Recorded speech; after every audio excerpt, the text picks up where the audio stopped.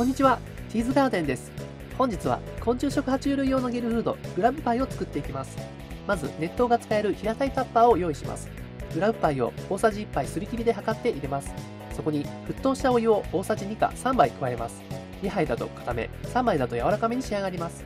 スプーンでムラにならないようにかき混ぜます。やけどしないように注意してください。冷えると固まるので手早く混ぜましょう。もう一つの作り方があります。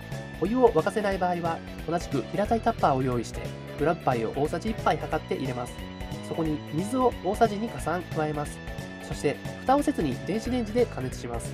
沸騰してすぐを目安に取り出しましょう。レンジにもよりますが、10秒から20秒かかります。同じく、やけどには注意してください。取り出したら、冷えないうちによくかき混ぜます。裏がなくなったら平らなところでしっかりと冷ましておきます。竹串などで食べやすい大きさにカットしましょう。ピンセットで与えてもいいですが、お皿に入れると周りが汚れにくくなるでしょう。冷蔵庫で2週間以上保存ができます。いかがだったでしょうか？以上、キーズガーデンでした。バイバイ。あ、そうそう、これは人間の食品ではありません。バイバイ。